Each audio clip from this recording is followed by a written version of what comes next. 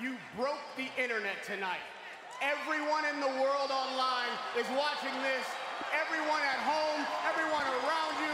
You started this train more than two, more than a year ago by calling this man out, and today you got the victory. What was the difference between KSI tonight and KSI a year ago? KSI last time was was scared. I was scared to fight. I was scared to touch him. I was scared to get close to him. This time I just went in. This time I just kept going. I just kept going and kept going. You were an underdog tonight. We had all the betting, and it looked like Yo, Logan Paul was the favorite. Why were those fans wrong? Well, obviously they saw how big he was. They saw his, you know, physique, and they were just. Oh, I mean, to Shannon, he was. He has legs and he's white. So whatever that means. So I was just like, all right, screw that. I'm gonna work my ass off, and, and constantly just kept going and going and kept. And yo, I'm. Hey yo, real quick, I want to thank. I want to, yo, I want to thank my team. My team have helped me so much. I want to help. Vid- I want to thank Viddal. I want to thank Leon Williams. I want to thank Harvey, Steve. Uh, I want to thank my man Stitch, who's helped me so much as well. Sorry, bro. And I want to thank Larry Wade, Jeff, Mayweather. Your boy has done it, yo. I am victorious. Let's talk about the action in the ring. This was a tough fight. There was a moment of truth for you. You got hit with an uppercut. You went down. Jack said you got hit while you were down. In that moment, it would have been an easy time to quit, to say, I can't continue. Yeah. What did you find in yourself to say, I'm ready to go on? I'm a dog. I keep saying it. And I, yeah, hit me, yeah, hit me hard there. And then he just hit me in the back of the head as well. And it was just, I don't know, it was just outrageous. But it, it is what it is. It's calm.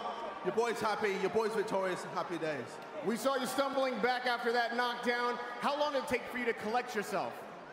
Uh, It took me about a minute, minute or two, just to figure out, you know, how I was. And then, uh, yo, I came back at it. I kept going. That's boxing, man. I don't, I don't want to stop.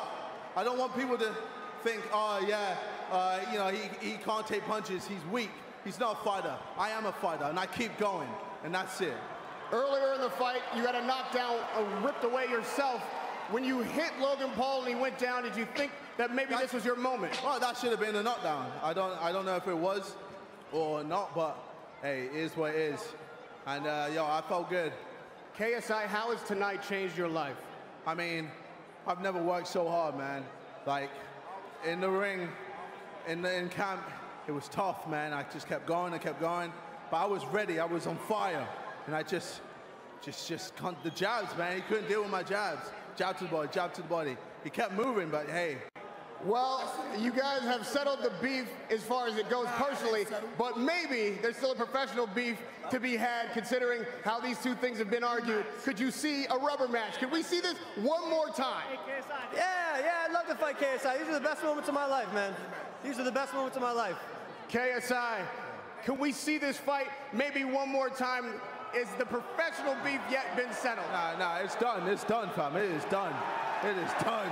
It is done. Done. I'm on to the next thing, yo. Hey, you can do MMA. I know, yeah, with the wrestling and stuff. You should fight CM Punk. I think that'd be pretty funny. For Is the next thing boxing for you? Hey, we'll